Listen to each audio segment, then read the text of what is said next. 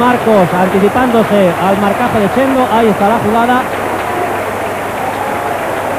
Toca el balón ante el que nada puede hacer Ocho Torena. Se ha adelantado perfectamente Marco a los jugadores del Real Madrid. Una nueva toma de cómo toca Schuster. Marcos que está más rápido, más atento. Se ha anticipado a Chendo y ha cruzado sin que Chotorena pudiese atajar el remate. Recupera el balón el Barcelona. Schuster, Marcos, Archival. Posición correcta de Marcos. Marcos, Archival. Fuera de juego. Marcos tenía que haber rematado. El jugador escocés estaba en fuera de juego. La jugada era correcta en Marcos, pero no en el escocés. Atención a la salida de Marcos, posición correcta, pero la jugada ya es suya.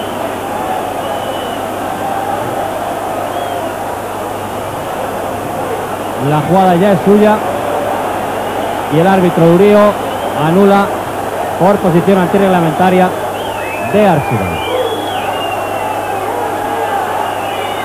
por las jugadas, las brillantísimas jugadas de peligro que está llevando a cabo especialmente en esta segunda parte. En el momento en que Calderé se planta delante de y consigue el segundo gol. Error defensivo del Madrid que ha aprovechado perfectamente Calderé en el minuto 26 de esta segunda parte